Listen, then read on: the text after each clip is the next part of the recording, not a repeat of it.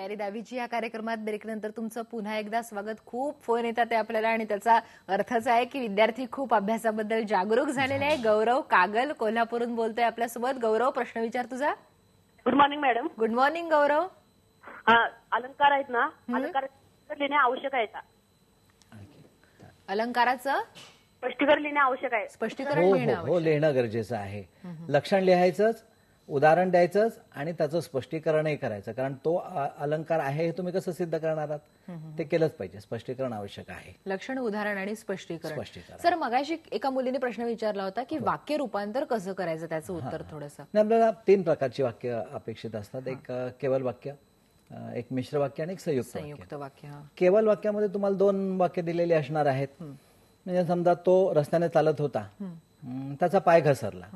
नाही रस्त्याने चालत असताना त्याचा पाय घसरला हे केवल वाक्य. वाक्य. ज्या वाक्यामध्ये एकच एक करता आणि एकच एक क्रियापद असेल ते केवल वाक्य केवळ हा मिश्र वाक्य ओळखण्याची खूण आहे की त्याच्यामध्ये की म्हणून जर तर जेव्हा तेव्हा जे जसे तसे अशा प्रकारचे शब्द येतात की त्याच्यावर आपण ओळखू शकतो की मिश्र वाक्य आहे म्हणजे जेव्हा तू आलीस तेव्हा पाऊस पडत होता. मिश्र वाक्य हो जर मला बोलावणं आलं तर मी जाईन जाईन. हा हे मिश्र वाक्य आहे. आणि संयुक्त वाक्याची खूण आणि व. व आणि बरोबर म्हणजे हे वाक्य बदल करताना मग हे हे शब्द आपण त्याच्यामध्ये पाहिजे त्याच्यामध्ये, हो. सर आणखी एक प्रश्न एका मुलीने मुलीने की मुलाने विचारलेला होता की निमंत्रण पत्रिका कोणती महत्वाची आहे कशी? हा. निमंत्रण पत्रिकेमध्ये शालेय समारंभ जे असतात हा. त्या समारंभांचं निमंत्रण द्या. म्हणजे आमच्या शाळेमध्ये एक प्रजासत्ताक दिनाचा कार्यक्रम होणार आहे. किंवा शिवजयंती उत्सव होणार आहे. किंवा आमच्या शाळेमध्ये जे विद्यार्थी शालांत परीक्षेमध्ये चांगले गुण मिळवून आलेले आहेत.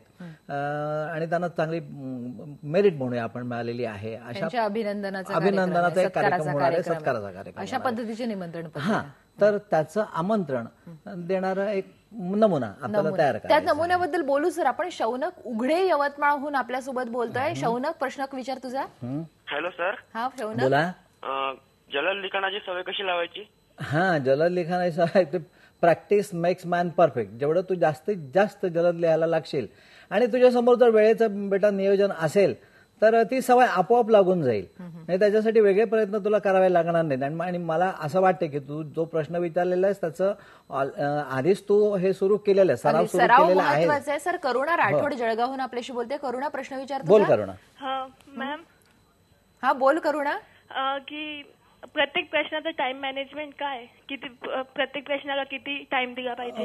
हो ते फार फार महत्वाचं आहे. मुळात आपला ऐंशी गुणांचा पेपर. आहे. आणि तीन तासामध्ये लिहायचा. तसं काळजी करण्याचं कारण नाही आपल्याकडे भरपूर अवधी आहे.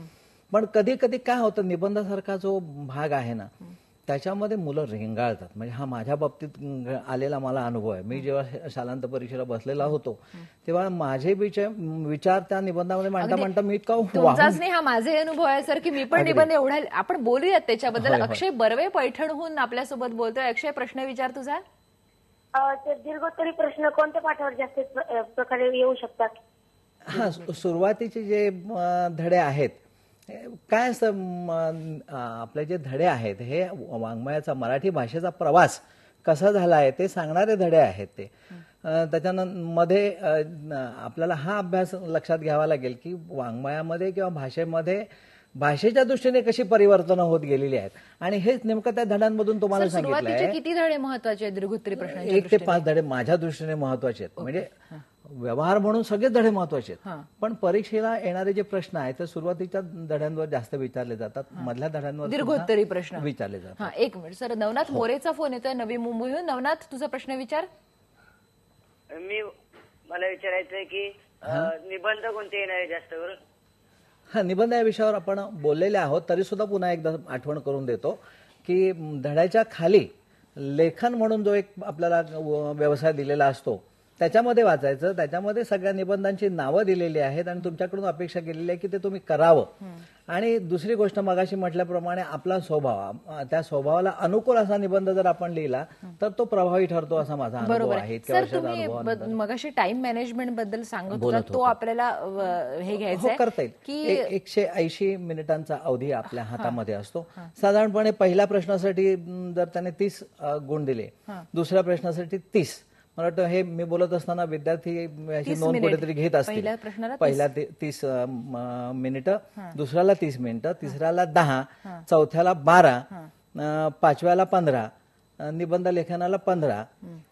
सातव्याला आणि आठव्याला चोवीस चोवीस मिनिटं वाटायला येत आहेत आणि उरतात वीस मिनिटं. ती सुरुवातीची दहा मिनिटं जी आहे ती त्यांनी पेपर वाचन करणं आणि त्याच्यावर निर्धार करणं किंवा नक्की कुठले प्रश्न सोडवायचे त्याच्यावर अशा प्रकारची खूण करणं. हे गरजेचं असतं. एकदा तुमचा निर्धार झाला की मग त्या पद्धतीने तुम्ही पुढे वाटचाल करू लागता. सर पुन्हा एकदा याच्याबद्दल विस्ताराने बोलू. पूजा शिर्के देवरुखून आपल्याला प्रश्न विचारते. पूजा प्रश्न विचार तुझा. नमस्कार मॅडम नमस्कार सर. नमस्कार नमस्कार. पूजा. मला असा प्रश्न विचारायचा होता की हा ना. अस- अ, जे कोण- कोणते धडे आहेत जे महत्त्वाचे आहेत ज्याच्यावर जास्त प्रश्न विचारू शकतील? हा मगाशी मी त्याच विषयावर बोललोय पण पुन्हा एकदा बोलतो तुम- पूजा तुझ्यासाठी की अं, भाषेचा जो प्रवास आहे मराठी भाषेचा ते सांगणारे हे सगळे धडे आहेत. त्यामुळे सुरुवातीचे धडे मधले दोन धडे शिक्षणाचं महत्त्व सांगणारे धडे जे आहेत त्याच्यावर जरा जास्त लक्ष केंद्रित करावंच असं मला वाटतं पूजा तरी सुद्धा एक स्पष्ट भाषेत सांगायचं तर अशा महत्त्वाच्या धड्यांवर किंवा आपण कशी अपेक्षा बाळगू नये की हा धडा महत्त्वाचा आहे तो तीच कविता महत्वाची आहे. आपण सगळ्या धड्यांचा आणि सगळ्या कवितांचा नीट अभ्यास करावा की जेणेकरून आपल्या व्यवहारामध्ये त्याचा आपल्याला नेहमीच उपयोग होत मध्ये असतो. जर एखादा धडा टाकला तर थोडं चालेल ना, धोकादायक. धोकादायक एखादाच ठरू होऊ शकतो. शकतं तसं होऊ शकतं. पण समजा आपल्याला एखादा धडा असा वाटत असेल की नाही हा धडा माझ्या डोक्यात कुठे शिरतच नाहीये. तो माझ्या डोक्यावरून जातोय. हा मुलांचा शब्दप्रयोग आहे. तर ठीक आहे, एखादा तुम्ही- चालेल, पण एखादा पाच- पाच चालेल, वगैरे पण नको. नाही टाकायचे नाही टाकायचे. हे त्यात महत्वाचं मोठा- सांगितलं सर. मोठा तुम्ही धोका आहे. अं, आपल्यासोबत सर आहेतच आपल्या प्रश्नांची उत्तरं द्यायला. खूप हो. फोन येतात त्या विद्यार्थ्यांचे. हा जो कार्यक्रम आहे हा तुम्ही अं, पुन्हा दुपारी साडेपाच वाजता बघू शकता. शिवाय आमची वेबसाईट आहे W W W dot I B N Lokmat dot TV या वेबसाईटवर सुद्धा हा कार्यक्रम अपलोड केलेला असतो. त्याच्यावर सर जे काही बोलतात त्याच्या टिप्स दिलेल्या असतात ते सुद्धा तुम्ही वाचू शकता त्याला भेट देऊ शकता. इथे आपण एक ब्रेक घेणार आहोत. पहा फक्त आय बी एन लोकमत.